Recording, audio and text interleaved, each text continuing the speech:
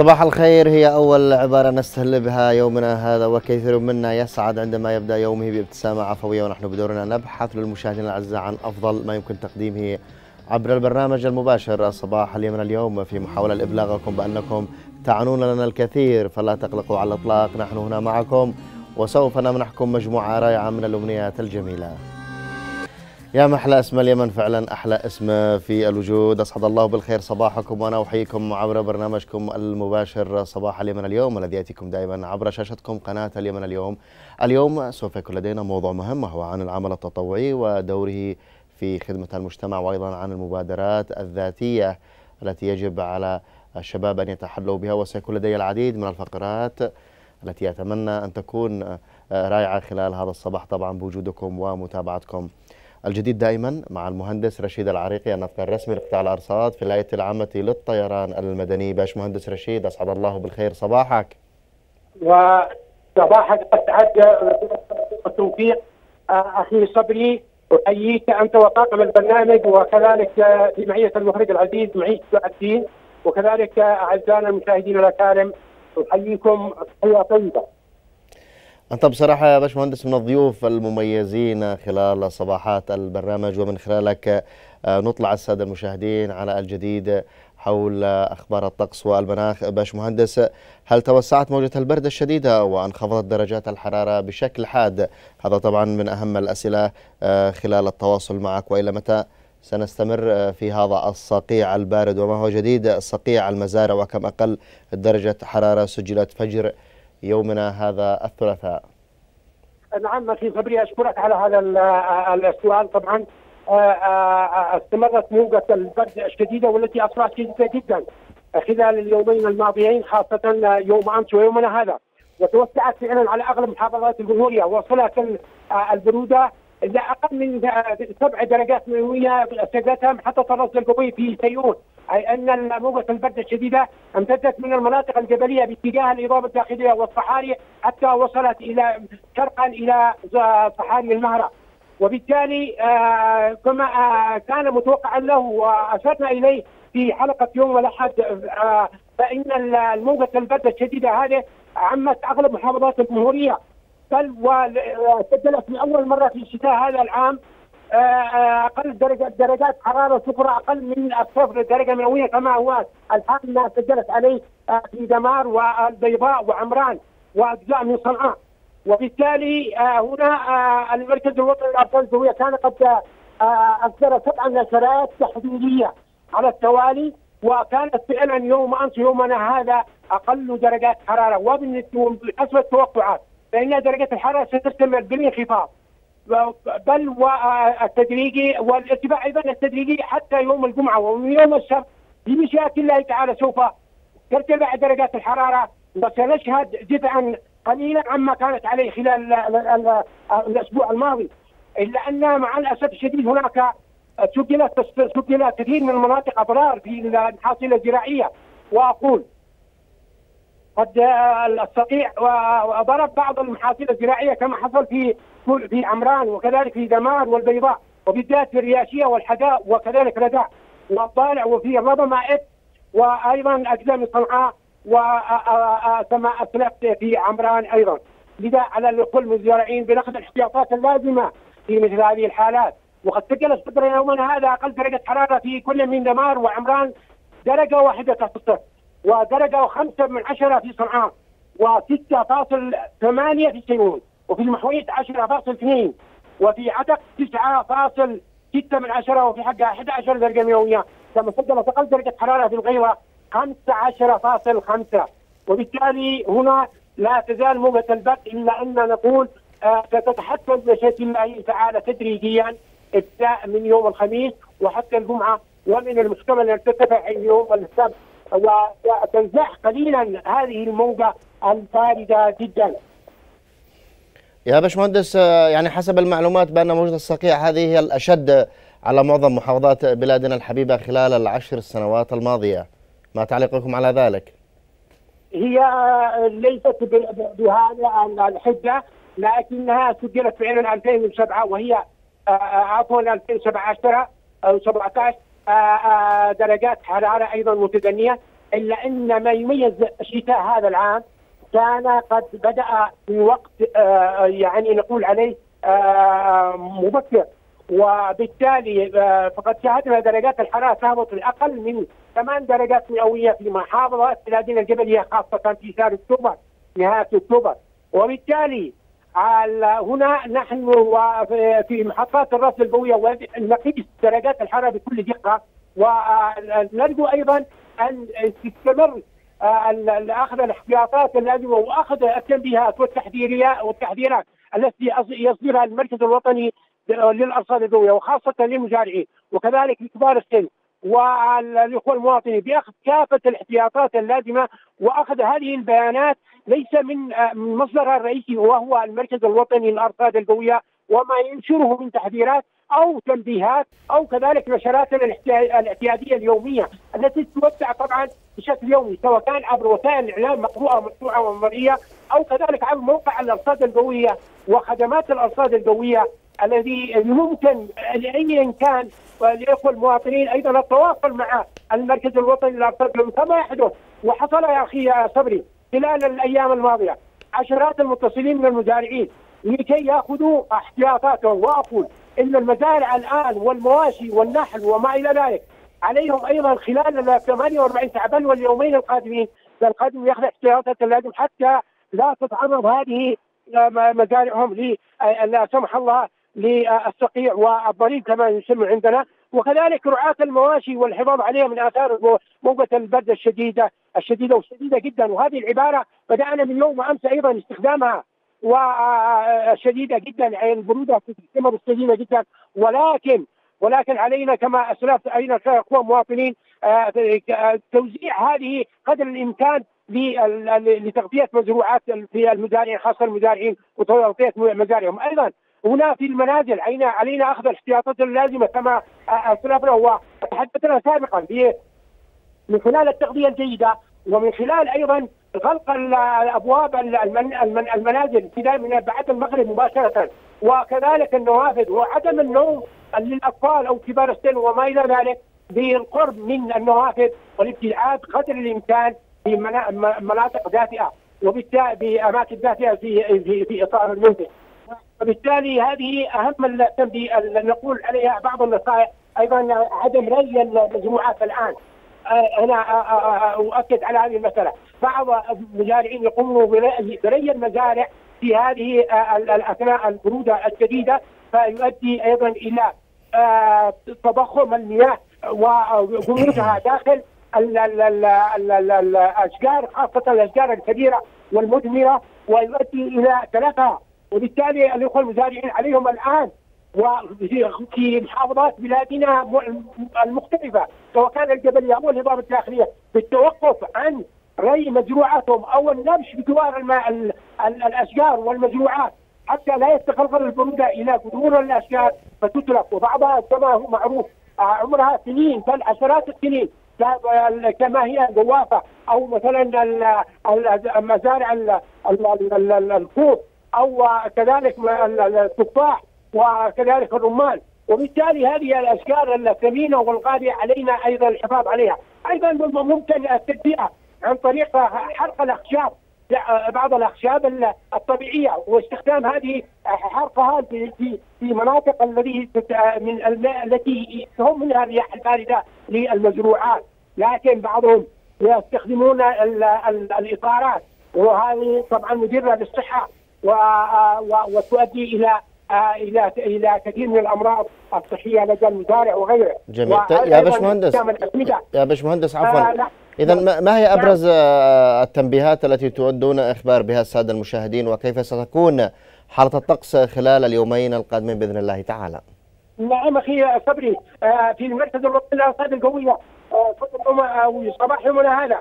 حتى المركز الوطني للارصاد القوية لكل مواطنين من التجلي الحاد في درجات الحرارة الصغرى وخاصة كبار السن والأطفال والمرضى والعاملين اثناء الليل وساعات الصباح الباكر وكذلك المسافرين إلى إلى المحافظات الجبلية والصحاري والهضاب الداخلية.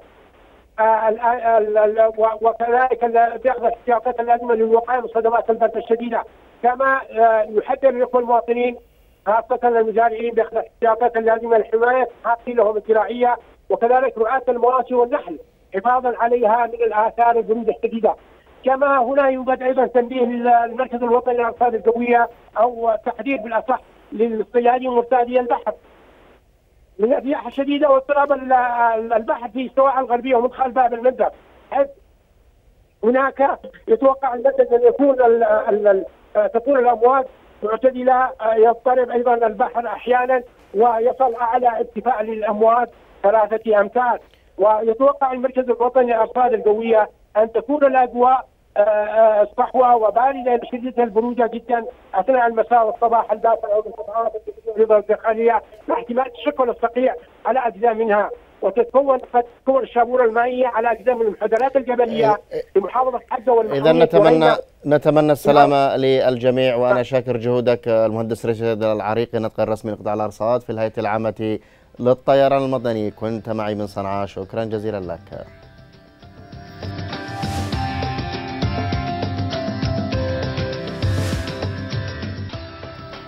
تمارين الكارديو هي تمارين تساعد الجسم على الحصول على كمية أكبر من الأكسجين أثناء ممارستها تعمل هذه التمارين على تحريك الجسم بطريقة تؤدي لتسارع نبض القلب والتنفس بالإضافة لمساعدة الجسم على التنفس بشكل أعمق. وبالتالي فإن هذه التمارين قد ترفع من مستويات الأكسجين في الدم ما يعود بالنفع على مختلف أجزاء الجسم.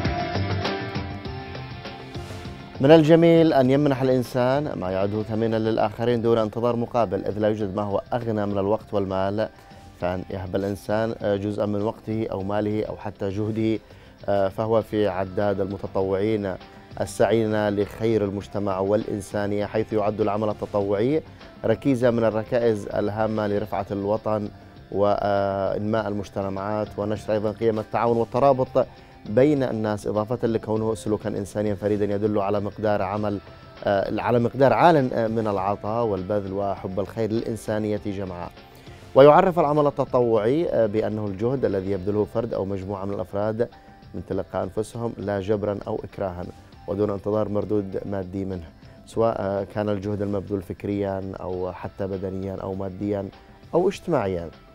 في سبيل أخذ الأجر والثواب من الله ورفعة المجتمع وتنميته وأصبح العمل التطوعي آه، ركيزة أساسية في بناء المجتمع ونشر التماسك الاجتماعي بين المواطنين لأي مجتمع والعمل التطوعي يظل ممارسة إنسانية ارتبطت ارتباطا وثيقا آه، بكل معاني الخير والعمل الصالح عند كل المجموعات البشرية منذ الأزل ولكنه يختلف آه، في حجمه وشكله واتجاهاته ودوافعه من مجتمع إلى آخر ومن فترة زمنية إلى أخرى. فمن حيث الحجم يقل في فترات الاستقرار والهدوء ويزيد في أوقات الكوارث والنكبات والحروب. آه، يسرني أن يكون ضيفي في الاستوديو الأستاذ مصطفى منصر أمين عام الائتلاف اليمني للسلام. أهلا صباح الخير أستاذ مصطفى. صباح الأنوار نورتنا يا صديقي. بهاء نورك الله يخليك وأهلا وسهلا فيك. آه، أخي مصطفى يعني هل يعد العمل التطوعي وحجم الانخراط فيه يعني آه، رمزا من رموز تقدم الأمم وازدهارها آه، خاصة أن الأمة كلما ازدادت في التقدم والرقي زاد انخراط المتطوعين لممارسة الأعمال المجتمعية والخدمية التي تعود آه، بالنفع على الوطن بشكل عام. أسعد الله صباح مشاهدينك الكرام وصباحك أيضا. آه، في البداية العمل التطوعي هو يساهم في بأي شكل من الأشكال بالارتقاء بالإنسان المتطوع قبل المجتمع. آه، لما يعد له من أهمية عند المتطوع ذاته يعني يستفيد الخبرات والمهارات والقدرات الذهنية والعقلية وتوسع دائرة الاتصال مع نظرائه من الناس الذي يعمل من خلالهم وكما يعني أسلفت في بداية حديثك عن العمل التطوعي أنه آه، خدمة آه، أو عمل يقوم به الفرد دون إكراه. وكان يعرف العمل التطوعي زمان تقريبا من عام 1755 إنه العمل التطوعي آه إنه يكون عبارة عن نشاط في في الجيش عندما يتطوع الفرد أو المواطن. إداء الخدمة العسكرية. نعم لكن اليوم العمل التطوعي يشمل كافة آه، مناحي الحياة الاجتماعية. ولعلنا في اليمن آه، في العمل التطوعي أستطاع الشباب اليمني أن يكونوا اليوم هم خط الدفاع الأول أو الثاني في ظل الحرب والأزمة السياسية في أنشطتهم وفعالياتهم التطوعية في ظل الغياب آه، الغياب التام للجهات الرسمية والمعنية. وخاصة أيضا في إثر جائحة كورونا العالم أجمع العمل التطوعي أبرز دورا مهما جدا للشباب في إبداعاتهم وقدراتهم. فعلا وانبثقت العديد من المبادرات المجتمعية آه، التي آه، ساهمت إلى حد ما من من آه، مواجهة الكوارث. انبثقت العديد من المبادرات. أيضا هناك من قام مثلا بتوزيع الكمامات هناك من يقوم أيضا بمساعدة الناس أثناء ما يحدث من اقتتال وحروب. أيضا يا أستاذ مصطفى كان زمان أيام الزمن الجميل. كانت أيضا هناك جمعية الكشافة والمرشدات اليمنية. كنا إحنا بننخرط فيها وكنا بنستمتع بالمشاركة في عملية التشجير وأيضا أسبوع المرور. كان أيضا هناك من ينخرط في الهلال الأحمر آه، الأحمر اليمني. الهلال الأحمر اليمني. آه، الانخراط آه، داخل هذه المنظمات أو أو الجمعيات هل تنمي وتقوي من شخصية الفرد وبالذات الشباب؟ لا شك أنه كما سلفنا في بداية الحديث أن الشاب يستفيد اولا على المستوى الشخصي. آه، قبل أن يفيد المجتمع لأن العمل التطوعي يعزز من قوه من قوة الشخصية, الشخصية ويعزز من حضورك ويعزز من مهاراتك. أيضا مواجهته للحياة. نعم هو يعرفك على المجتمع. أنت تختلط. وأيضا يعرف المجتمع بك نعم. يعني ويكون أيضا هو دافع أنه لو عندك مهارات أو إبداعات يعرف المجتمع يعني من أنت. صحيح. نعم. المنظمتين الذي ذكرتها سواء الجمعية الكشافات أو الهلال الأحمر هذه من أهم الكيانات الذي ربما تجد غالبية الشباب أن يبدأوا نشاطهم من خلالها. كون الكشافة والمرشدات مرتبطة مع الطلاب من المدرسة والابتدائية أو الإعدادية أو الثانوية. العمل التطوعي اليوم آه ونحن في ظل هذه الأيام هو اليوم العالمي للتطوع والذي أطلقت عليه آه الأمم المتحدة أنه التطوع والشباب في ظل جائحة كورونا آه، استطاع أن يوصل الشباب اليمني خاصة آه، رسالة سامية ورسالة فعالة آه، في العمل التطوعي. العمل التطوعي آه، يعزز آه، القيم الإنسانية الحميدة ويعزز قيم التسامح والتعايش ويعزز قيم الولاء الوطني. وكم نحن بحاجة في ظل هذه الظروف الماسة التي تعيشها بلادنا تحديدا آه، أن نعزز من هذه المفاهيم. ومنظمات المجتمع المدني بشكل عام والتطوع فيها والانخراط فيها كما تفضلت هو يعزز من من من حضور الشخص لدى المجتمع ويبني قدرات ومهارات هذا المتطوع فتجد إن كل السياسيين وكل الإعلاميين وكل المثقفين كان لهم في بداية حياتهم أنشطة تطوعية صحيح. ومجتمعية ساهمت في تنمية س... قدراتهم وأيضا خلق شخصيتهم نعم. طبعا أستاذنك بس تنضم معي عبر الهاتف الدكتورة أميمة عبد الله استشاري الصحة النفسية والإرشاد بجامعة عين شمس. دكتورة أميمة صباح الخير. صباح النور أستاذ صبري ازي حضرتك؟ الله يخليكي آه، يعني دكتورة أنا مسرور جدا بتواصلنا معك عبر الهاتف. آه، هل يعد العمل التطوعي وحجم الانخراط في رمزا من رموز تقدم الأمم وازدهارها خاصة إن الأمة كلما ازدادت في التقدم والرقي ازداد انخراط مواطنيها في أعمال التطوع؟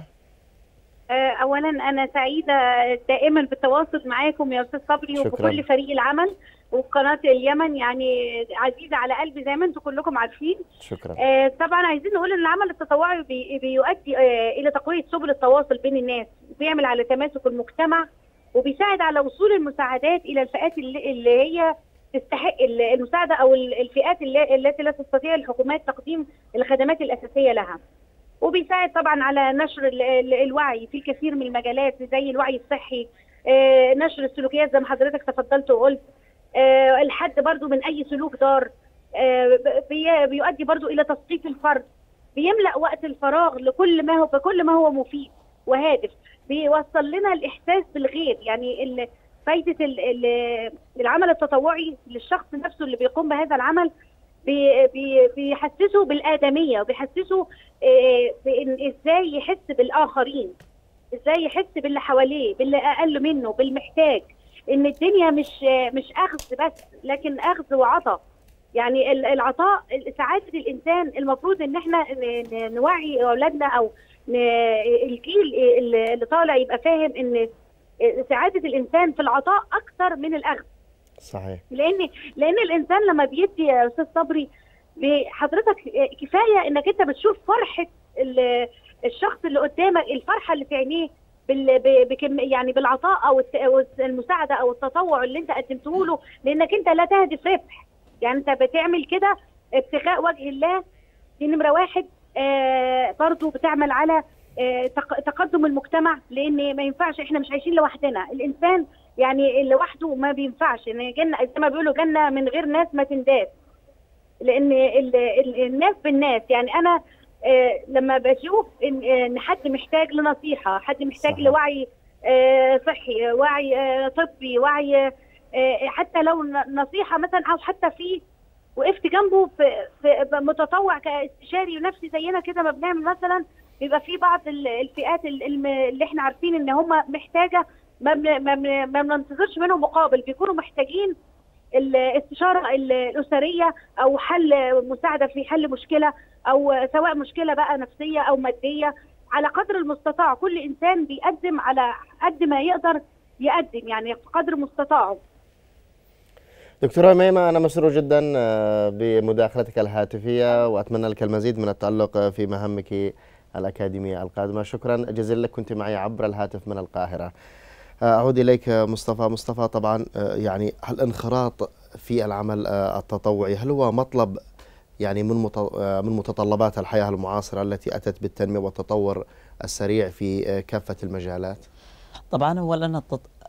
العمل التطوعي يحث عليه الدين الإسلامي الحنيف وتحث عليه كل الديانات السماوية بل إن بعض يعني كافة وبعضها من عندها العمل التطوعي شيء أساسي. إحنا مثلا القرآن الكريم حث كثيرا على العمل التطوعي وعلى خدمة الآخرين. في آية مساعدة كريمة. الفقراء المساكين. نعم وفي آية كريمة. أيضا آه، الطريق احترام الطريق إذا في أذى في الطريق. نعم هذه ما اعمال إذا عمل أضطر- نعم. تطوعي الآية الكريمة تقول ومن تطوع خيرا وخيرا له.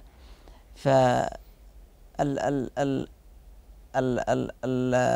الأعمال المجتمعية والتكافل الاجتماعي والتضامن الاجتماعي كلها أعمال تطوعية وكلها أعمال تخدم الناس وتخدم المجتمع وكما تفضلت الضيفة يعني آه، تقديم الخدمات الإنسانية والإغاثية للمحتاجين وغيرها. إحنا مح- محتاجين بشكل كثير جدا ان أن نعزز فكرة العمل التطوعي. يعني تجد أن الكثير أحيانا لا يفهموا أو لا يدركون أهمية العمل التطوعي أو المجتمعي داخل ال ال ال ال ال البلد. وبالتالي على الناس أن يستوعبوا أنه العمل التطوعي ليس فقط يعني من ال- الحصول على ال ال الم- المزايا المادية مثلا ال- المزايا الأخرى التي يحصل عليها غير المتطوع. آه، الأعمال المجتمعية المشاركات المجتمعية م- مثل اليمنيين عندهم مبادرة 12 12 الذي هي لنظافة العاصمة آه، هذه من أهم المبادرات التي أثرت في الناس في في اليمن وكان لها الأثر الإيجابي التي لا زال نسمع صداها حتى اليوم. مع الرغم أنه آه الذي أطلقوا الحملة أو نفذ الحملة آه يعني الامين العاصمة السابق عبد القادر الهلال يعني آه توفى. الله يرحمه. رحمة الله تغشاه وبالتالي مثل هذه الأنشطة والفعاليات الآن عندنا تقريبا اليمنيين في واحد واحد أنشطة لمرضى السرطان. وهكذا أصبحت ال- الأيام أصبح اليمنيين لديهم أيام وطنية خاصة بهم لإنطلاقة الأعمال التطوعية. ونحن هنا في القاهرة نشاهد الأشقاء في جمهورية مصر العربية يطلقوا كثير من الأنشطة أهميتها صحيح. والحملات أهميتها توعية الشباب بال بال بال بال بالعمل التطوعي. بالعمل التطوعي. صحيح. وتوعيتهم أيضا من المخاطر ال- تعاطي المخدرات وهذه ال- الأشياء الضارة بالإنسان. وتوعيتهم بخطر الإرهاب والتطرف والعنف. صحيح. هذه كلها أنشطة إحنا نحتاجها ويجب أن نعززها.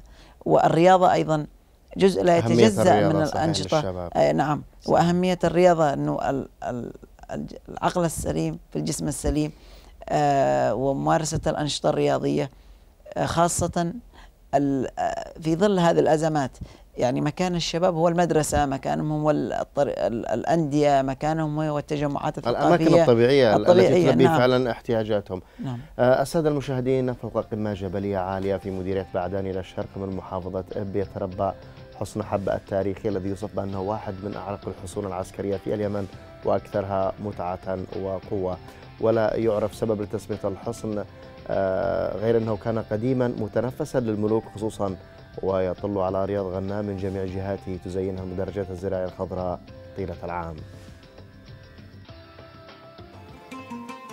يتربع حسن حب على رأس هذه القمة العالية.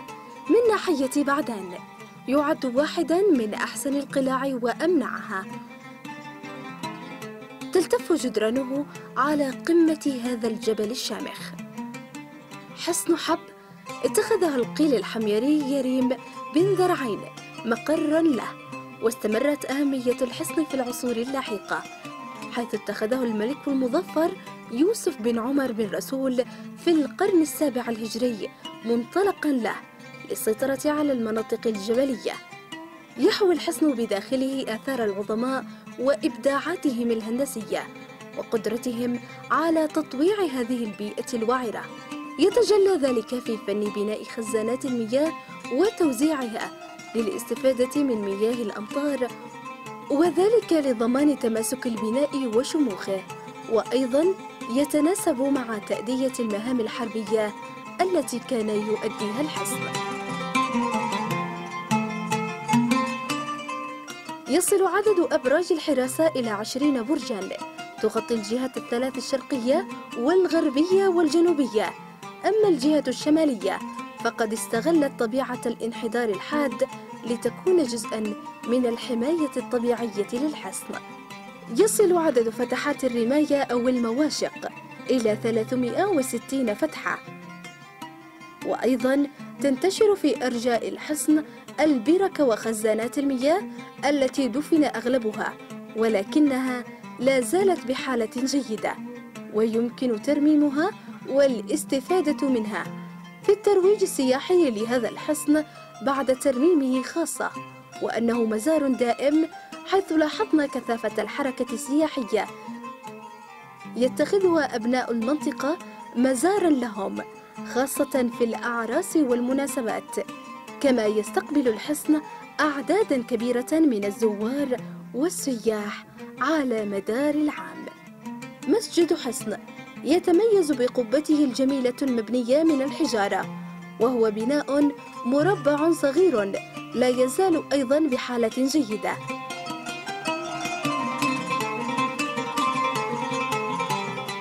هناك الكثير من الآثار القديمة لا زالت شاهدة على شموخ وعظمة الإنسان اليمني عبر العصور. هذا الحمام البخاري يعود للعصر الحميري يقال أنه حمام ذو رعين يحتاج هذا الحصن إلى مزيد من الدراسة والتنقيب ويحتاج أيضا إلى الاهتمام من الجهات المعنية حتى يظل حارسا أمينا على البساط الأخضر الجميل.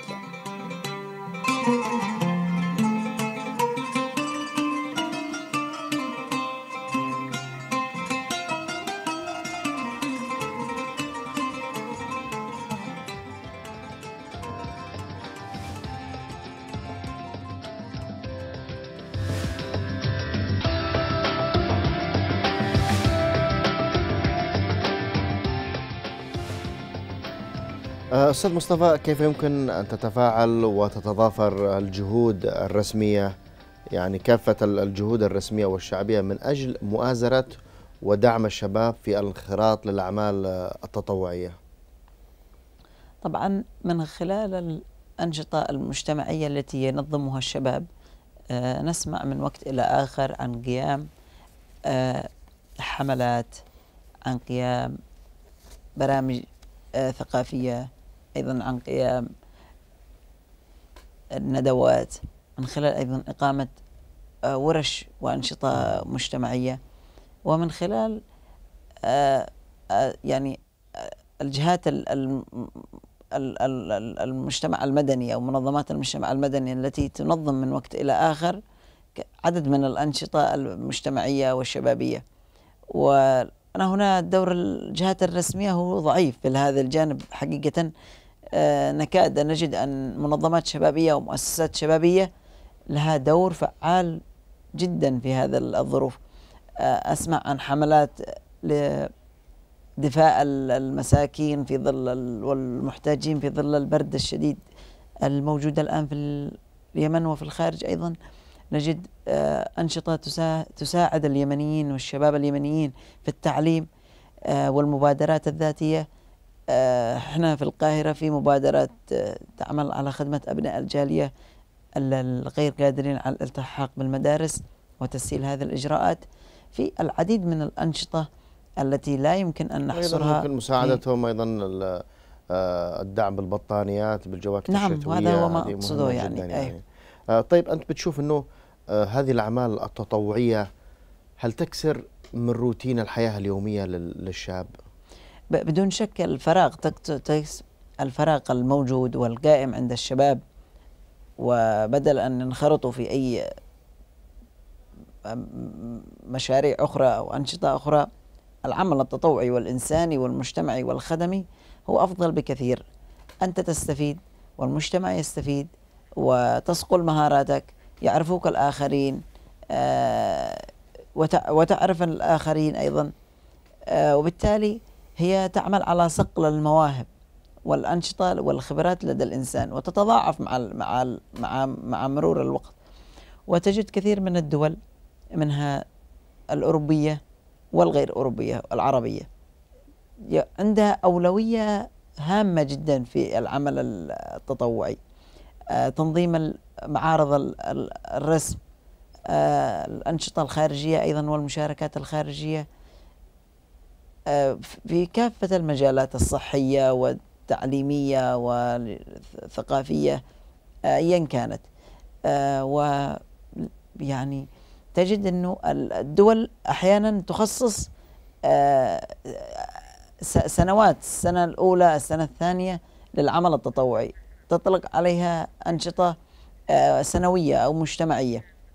إحنا نحتاج في في آه، ند يعني من خلال هذه الفعالية أو من خلال هذا الأيام آه، أن الشباب اليمني يكون قادرا على تعزيز الولاء الوطني والانتماء الوطني و و و و وأن يفهم الشباب أنهم أماكنهم الأماكن الطبيعية وأيضا أنه أماكنهم هي الأماكن الثقافية والنوادي الثقافية والأنشطة المجتمعية أيضا أن يفهم الشباب خطر الجماعات الإرهابية وخاصة أن إحنا في ظل استقطاب شديد من ال من ال من كل الأطراف صحيح، يعني للأسف الشديد ال- طيب يا مصطفى يعني من الجماعات الإرهابية أيضا إلى فيروس كورونا الذي لا يقل خطورة عن هذه ال- الجماعات آه، يعني أنت كيف شفت دور الشباب خلال مرورنا بفترة الحجر الصحي؟ هل فعلا الشباب قاموا بدور آه، توعوي مجتمعي أثناء آه، جائحة كورونا؟ في ظل الغياب التام للجهات الرسمية في الداخل والخارج في الشمال وفي الجنوب. أنا لم أشاهد سوى الأنشطة الشبابية والمجتمعية والمبادرات انطلقت في كل مواقع التواصل الاجتماعي وفي كل المحافظات في من صنعاء إلى المهرة. كلها تساهم في توعية الناس والمجتمع. ال- المخرج والمعد والمصور يفعل فيلم وثائقي أو فيلم توعوي أو كاتبين ال- ال- السيناريوهات. الفنانين أيضا كان لهم دور رائد يعني. الفنانين أيضا عملوا فلاشات فلاشات آه، جميلة. عن فنانون في زمن كورونا عن بعد واستطاعوا أنهم صحيح. يجسدوا لوحات جميلة. المبادرات التوعوية انطلقت الأنشطة المجتمعية انطلقت في وسائل الإعلام في, المدن في الأحياء في الحارات في الشوارع فكان لها أثر كبير جدا على وعي الناس وعلى آه، المساهمة في أن يفهم المواطن البسيط أو ال- ال- المواطن الذي قد لا يصل إليه التلفاز أو أي وسائل من وسائل المعرفة. في الشباب كان لهم دور فعال جدا في إحياء ال- هذه ال- ال- الأنشطة والتوعوية. وكمان آه، الخط توعية الناس بخطر صحيح. جائحة كورونا. و- وللاسف الشديد إنه الناس الآن في الدول الخارجية تستعد للموجة الثانية. بينما يعني إحنا في اليمن خاصة تحديدا يعني يعني معنا لطف الله سبحانه وتعالى. وأيضا الحذر مطلوب لأنه قد يكون هذا الجائحة مرتبطة ب- بش- بفصل ال- الشتاء. الشتاء يعني. يعني ب- ب- بتزداد أكثر في فصل الشتاء. اذا فاصل ثم أعود لاستكمال حواري مع مصطفى منصر. فيروس كورونا الجديد. شديد العدوى سريع الانتشار. يصيب الجهاز التنفسي بشكل حاد ملحقا مضاعفات خطيرة. تقلل فرص النجاة. اتباع المسافر الإجراءات الصحية الوقائية جيدا. يعيق تماما مرض كورونا يمنعه من الانتشار. ليحرص على غسل اليدين دائما وبعناية بالماء والصابون. ويفضل استخدام مادة معقمة لليدين. استخدام المناديل الورقية أثناء العطاس أو السعال أو بثني الذراع باتجاه الفم والأنف إذا لم تجد منديلا. استخدام الكمامات الطبية الواقية قدر الإمكان مع وجوب تجنب لمس الكمامة بمجرد ارتدائها. التخلص منها فور الانتهاء من استخدامها برميها في سلة المهملات. وعلى المسافر. تجنب السفر في حال الإصابة بالحمى أو السعال. في حال ظهور حمى وأعراض الزكام أثناء سفرك. أخبر الطاقم العامل أو موظف الصحة بالمطار والتمس الرعاية الطبية اللازمة. عدم مخالطة الأشخاص القادمين من بلدان تشهد ظهور أو انتشار فيروس كورونا. الابتعاد عن الشخص الذي يعاني زكاما أو حمى بترك مسافة لا تقل عن متر واحد وتجنب مصافحته أو تقبيله تجنب لمس اليد للعينين أو الأنف أو الفم في حال لم تكن مغسولة جيداً. الابتعاد عن مواضع الازدحام قدر الإمكان عدم لمس اليدين للمقابض والأسوار المعدنية والأسطح الملوثة. تجنب تناول المنتجات الحيوانية غير المطهوه جيدا واللحوم النيئة والحليب غير المبستر. وطنك وعائلتك بحاجة إليك. عد سالما محميا من فيروس كورونا. يسرني أن يكون معي عبر الهاتف الدكتور علي عبد الراضي أخصائي صحة نفسية وتعديل سلوك. دكتور علي صباح الخير. أتمنى أن يكون صباحك دافئا. صباح الخير والسعادة ليك وكل أهل اليمن أتمنى لكم وحشتنا يا دكتور. بقالنا كثير ما شفناكش في الاستوديو يعني. تحياتي يا أستاذ صبري ليك وتحياتي. لكل أسرة قناة اليمن اليوم وأتمنى لكم الصحة والسعادة. وأنت والله يا صبري بيه وحشني جدا جدا حقيقة. الله يخليك يا دكتور. دكتور علي يعني نح- نحن نتحدث اليوم عن العمل آه، التطوعي. طيب المتطوع دائما يسعد ب يعني بسعادة آه، عندما يقوم بإسعاد الآخرين من خلال الأعمال التطوعية ويشعر بالسلام الداخلي والفخر آه، بما قدمه ويراجع إنجازاته التطوعية بينه وبين نفسه هل يؤدي ذلك إلى راحة نفسية للم- آه، للمتطوع؟ ده حقيقي. واحدة من المقاييس المهمة جدا في آه، منظمة الصحة العالمية وهي آه، مقياس اسمه الصمود والسلامة النفسية وكمان جودة الحياة. الثلاث مقاييس دول علشان الإنسان يحققهم يعني عشان يوصل لجودة الحياة وعشان يشعر بالسلام الداخلي والطمأنينة الذاتية وكمان يحسن حاجة اسمها صورة الذات. كلهم مرتبطين ببعضهم كده بنسميهم جهاز المناعة النفسية. عشان الإنسان يقدر يوصل ده كله لازم يكون في أعمال خير أو أعمال تطوعية يشعر إن الآخرين محتاجين ليه. دايما إحنا ب... الناس بتشكي إنها مسؤولة وإنها ب... ب... بت- بتخدم أولادها وبتدي أولادها. اتضح إنك شعور العطاء ده شعور آه، جيد جدا للصحة النفسية. بيخلي الإنسان يشعر بالفخر والسعادة والامتنان. فمن الاحتياجات اللي الإنسان يحتاجها حاجة بنسميها تأكيد صورة الذات. وعشان يقدر يأكد صورة الذات بتاعته لازم يكون نافع للمجتمع لازم يقدم خدمة للمجتمع لازم يكون ليه دور وهدف ومعنى للحياة. دوره وهدفه معنى للحياة هم العمل التطوعي اللي بيقدمه إن يساعد المحتاجين لو في آه، مشاكل. وطبعا العالم كله يخلو بقعه من البقاع في الأواني الأخيرة دي إلا واللي يكون في مشكلة. ودايما إحنا بنقول للناس على قدر المستطاع علشان تشعر بالسعاده النفسية وعشان تبعد عن الاكتئاب والضيق والكبد ومرارة الحياة حاول يكون لك مجموع والأفضل يكون لك المجموعة دي من الأقربون تقدم لهم الدعم تقدم لهم النصيحة تقدم لهم بقدر المستطاع اللي بنسميها إحنا في ديننا الصدقات من المعروف إن الوطن العربي أهل كرم. فبالتالي يعني إحنا سابقين العالم كله في هذه الجزئية جزئية آه العمل التطوعي.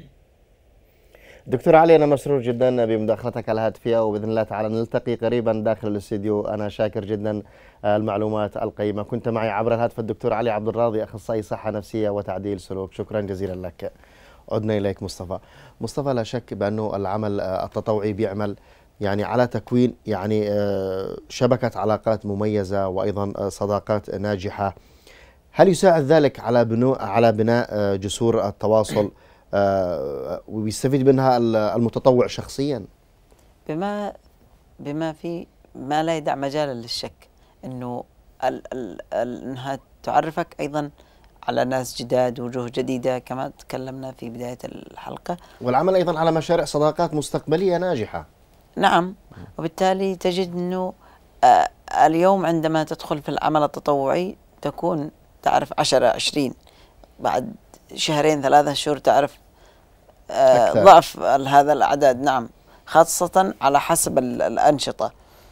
ومن خلالها توسع دائرة العلاقات لديك وتنمي مهاراتك وتشغل وقتك ويعرفك المجتمع ويعرفك الناس.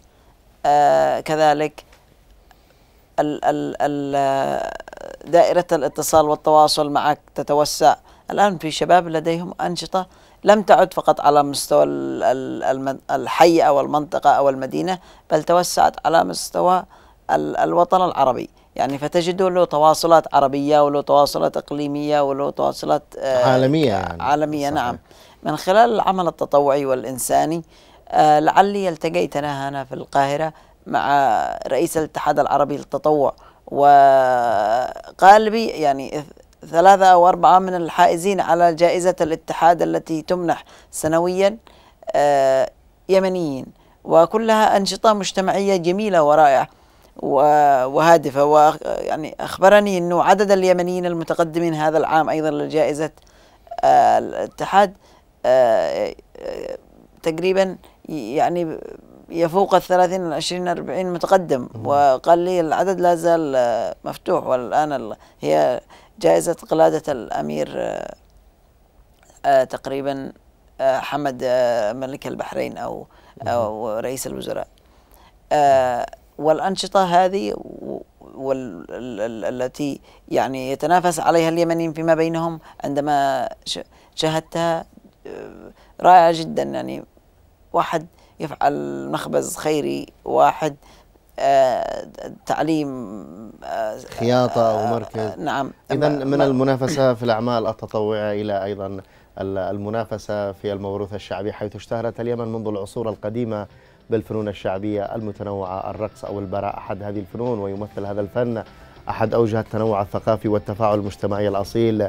في الثقافة اليمنية المتنوعة لشعب واحد وتمثل رقصة البراء جزءا من التراث الشعبي في معظم المناطق وخاصة في الريف وهذا ناتج عن اهتمام الناس بالمحافظة على تراثهم. فرقصة البراء تعكس الماضي بأصالته والحاضر بحداثته وتعتبر لوحة فنية تترجم العادات والتقاليد لدى أبناء المجتمع بحركات شعبية بسيطة على أنغام المرفع والطاسة والتي تحمل قيمة تاريخية عميقة تم توارثها عبر الأجداد.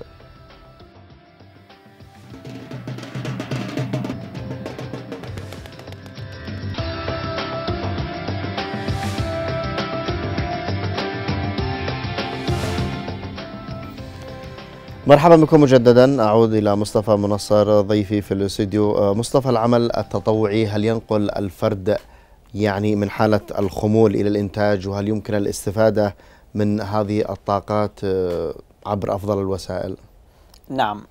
آه، إحنا اليوم نشاهد آه، كثير من الأشياء التي تقوم بها بعض المنظمات أو المؤسسات المجتمعية مثلا دورات ال- الأعمال التطوعية التي تساهم في بناء مهارات المجتمع المهارات ال- الإنتاجية مثلا ال- الخياطة ال- الأنشطة هذه اللي يسموها آه، الأسر المنتجة أيضا. آه، هذه آه، الشباب أيضا المنتج لا شك إنها بشكل أو بآخر تساهم في إنها توفر حتى فرص إيجابية للشباب وللأسر في ظل ال- الوضع الاقتصادي المتردي وتساهم في دخول المحصول أو الدخول الجانب الاقتصادي للفرد أو المجتمع. وليس فقط أنا باعتقادي إنها استفادة اقتصادية فقط أيضا هي كما هي استفادة يعني لل- للفرد المجتمع أن يكتسب مهارة جديدة أن يكتسب آه، فكرة جديدة أن يعني يجرب هذا الشيء. والحياة آه، مرهونة ومقرونة بالتجارب ال- ال- الشخص. هنا دور المجتمع المدني والمنظمات والمؤسسات الشبابية دور فعال في بناء قدرات ال- ال- ال- الشباب والمجتمع. آه، وخاصة أنا أعتقد أن إحنا اليوم بحاجة إلى آه، إلى إلى إلى إلى أهمية التسامح ونشر ثقافة التسامح ونشر ثقافة ال- ال- ال- ال- ال- الأخاء من خلال هذه الأنشطة التي تقام من خلال مؤسسات ال- المجتمع ال- المدني. إضافة إلى الأعمال الفنية إحنا نحتاج أن نعزز قدرات الفنانين سواء كانوا الفنانين على مختلف ال- الأنشطة الفنانين التشكيليين الفنانين ال- الغنائيين. الغنائيين الفنانين الرسامين صحيح. الفنانين الممثلين وغيرها خاصة مع انعدام دور وزارة الثقافة في اليمن بشكل عام مصطفى أنا وصلت معك إلى ختام هذه الحلقة كان الحوار شيق جدا وممتع أتمنى أن يكونوا المشاهدين بالذات فئة الشباب آه، يكونوا استفادوا من هذه المعلومات وننصحهم أيضا بالانخراط في الأعمال التطوعية التي تسهم في آه، في رفعة المجتمع وتنمي أيضا من قدرات الشباب. كنت معي مصطفى منصر خلال هذه الساعة البرامجية المباشرة. أمين عام الائتلاف اليمني للسلام. شكرا لتواجدك معنا في شكرا الاستوديو. لك شكرا لك. الشكر موصول للسادة المشاهدين أيضا في الختام. القوة لا تأتي من مقدرة جسمانية بل تأتي بها إرادة لا تقهر. الإرادة هي الفكرة والعزيمة هي الروح. الأبطال لا يصنعون في صالة التدريب. الأبطال يصنعون من أشياء عميقة في داخلهم. لا توجد كلمة مستحيل إلا في قاموس الضعفاء والإرادة القوية تقصر المسافات وإرادة النجاح مهمة لكن الأهم منها إرادة التحضير للنجاح. لا تنسوا ابتسموا دائما في وجه الحياة.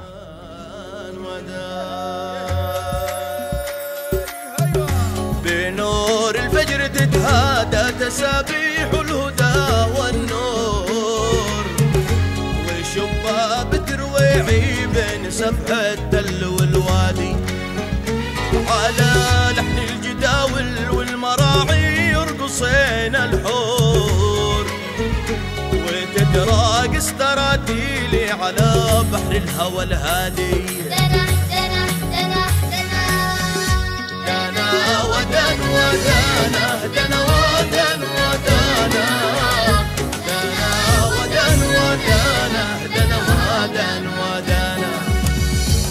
هناك تولد الماضي جذوره من صخور الطور. هناك درجت روض الخمايل منبت أولادي. أنا أول حضارة دونتها صفحة البلور. أنا آخر حضارة تحتضر من ماضي أمجادي. دنا ودن ودانا دنا ودن ودانا. دنا ودن ودانا دنا ودن ودانا.